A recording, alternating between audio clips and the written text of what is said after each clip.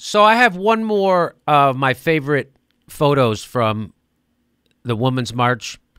Uh, look at our other videos. You see what we think the problem was with the march. The march, also a lot of positives from the march. We also uh, pointed out the negatives or what could be better. Uh, here is someone named Rochelle Nicole, which is what a great name. Rochelle Nicole. And she was at the march in D.C., and uh, she tweeted this picture out. She says, "No, I don't. I don't agree with calling any woman that name, but this is a woman doing it, so we're reporting it. That's different. we're reporting it."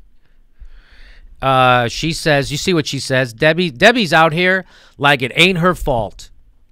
Yeah, so that's that was one of the problems with the with the march that people like that were front and center, meaning Debbie Wasserman Schultz, who's responsible for Trump. She screwed over the real progressive. They cheated. She didn't just she just didn't, didn't just endorse the the worst candidate in the history of America. She screwed over the what the guy who the people wanted who was the progressive because he represented the working man's agenda. And so what so I'll, I'll, I'll explain it one more time. When the Democrats got in bed with Wall Street, Wall Street's agenda is completely diametrically opposed to workers' agendas. So they're getting all their money from donors. They've already screwed over workers with NAFTA and every other goddamn thing and the TPP. So the Democrats were like, "Fuck, what are we going to do?" Well, we got to defeat that Bernie Sanders because my job depends on it. I would like to be a lobbyist. I want to go from the DNC to lobbying and I want to have this revolving door open and I want this. Come on, baby. So they immediately had to defeat the agenda of Bernie Sanders, which is the agenda of workers. They were they were more set on doing that than defeating and then we'll worry about defeating the Republicans. So don't ever forget that's what they did.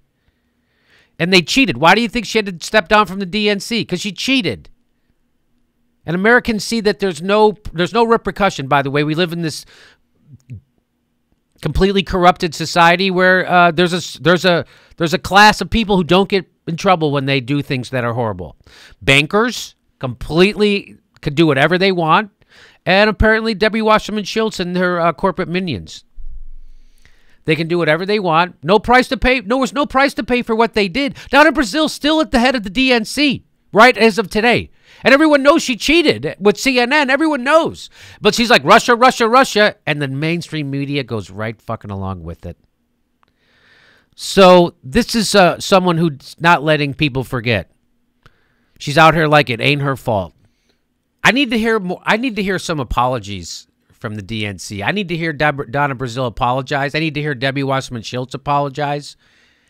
I need to hear Cory Booker apologize for his. But those people, I don't think they're gonna. So you know just how dissatisfied progressives are with the DNC and the Democratic Party in general? That's how dissatisfied we have to make them. That's how she's like, "Oh, I'm a Democrat, but god, I really hate how progressive they are." That's how we need to make them. They need to be unhappy with the Democratic Party. That's what needs to happen. They need to change. You can't win, you can't beat something with nothing. And what the Democrats offer are nothing. These social issues on the edges you got to beat something with something. So good for you, Rochelle Nicole, reminding everybody that Debbie Wasserman Schultz is the problem. The corporatists at the DNC are the problem.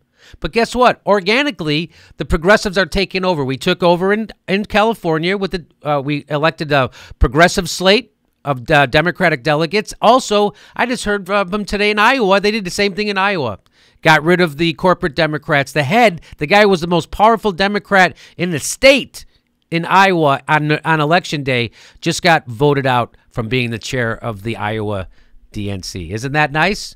So, and it's organic, it's happening. That the progressives are slowly taking over the Democratic Party. They need to take it over quickly, or that's not a word. they need to do it quicklier because uh, watch what it's happening.